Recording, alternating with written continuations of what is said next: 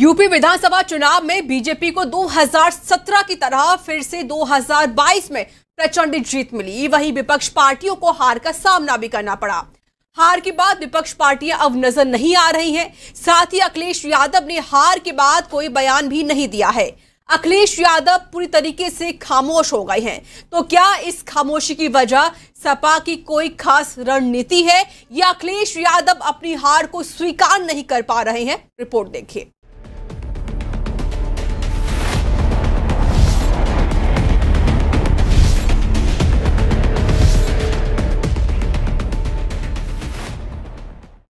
उत्तर प्रदेश विधानसभा चुनाव से पहले कई रंग देखने को मिले। कहीं हमले हुए तो कहीं बयानबाजी हुई। लेकिन चुनाव परिणाम आने के बाद बयानबाजी का दौर खत्म होता दिखाई दे रहा है, क्योंकि परिणाम आने के बाद सपा सहित सभी दल खामोश हैं। उत्तर प्रदेश विधानसभा चुनाव 2022 में मिली हार के बाद समाजवादी पार्टी के अध्यक्ष अखिलेश यादव ने अब तक कोई बयान नहीं दिया। लेकिन इस बीच ईवीएम का मामला फिर से सामने आने लगा है। बीजेपी से बागी हुए स्वामी प्रसाद मौर्य ने पोस्टल बनाम ईवीएम का तर्क दिया।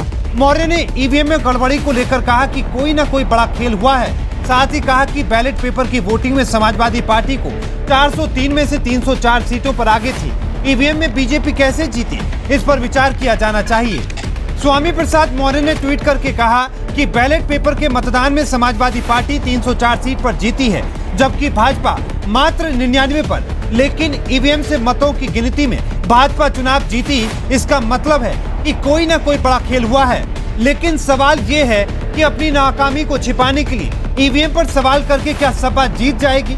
नतीजे 10 मार्च को आ चुके हैं, लेकिन सपा की तरफ़ से अभी तक कोई मंथन नहीं किया गया। वहीं अखिलेश यादव होली के बाद कार्यकर्ताओं के साथ बैठक करने जा रहे हैं। वहीं राष्ट्रीय लोकदल के अध्यक्ष चौधरी जयंत सिंह ने विधानसभा चुनाव खत्म होते ही बड़ा फैसला लिया।